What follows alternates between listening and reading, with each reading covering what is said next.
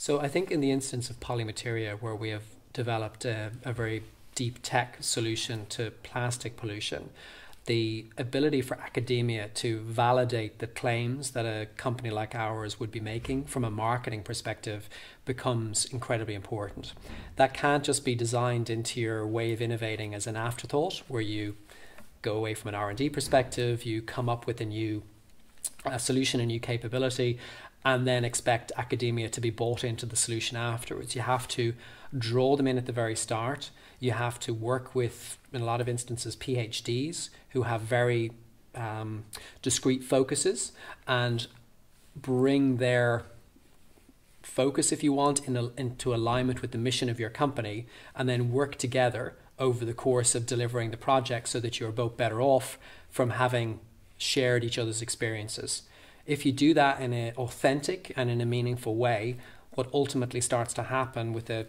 deep technology like ours, which can be very difficult um, for even technical audiences to understand, you then have a lot of academic partners who will be able to validate the claims that you're making, and they will ultimately be part of the advocacy uh, for the technology, which increasingly these days um, customers, but also government policy and um, NGOs and so on, are looking for that validation to know that you are a credible business.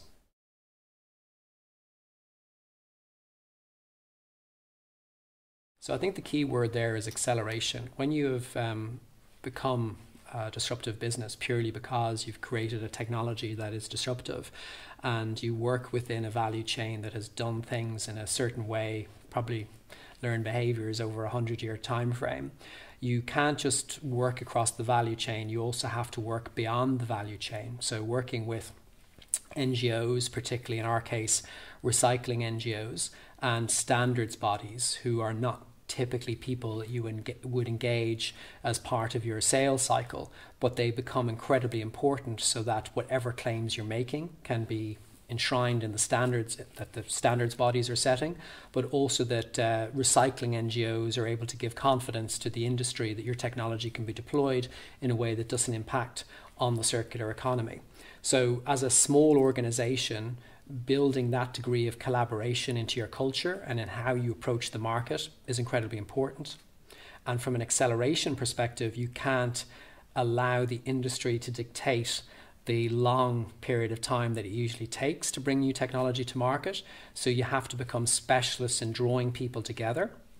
pulling them into very concentrated environments where the different capabilities can all have an opportunity to listen to each other. So something that might take 18 months from a sequential perspective, you can work through and get to a conclusion a lot quicker um, over a, a course of a couple of weeks um, as opposed to uh, taking a very, very long time frame. And I also think that's appropriate because on something like plastic pollution, which is where our business is focused, it truly is a global emergency. So you can't treat it like you are going to do things from a business as usual perspective. You have to do things in a disruptive way. And that's all about pulling together these unlikely stakeholders and forcing those conversations to happen that usually happen in a long sequence and making them happen in an afternoon.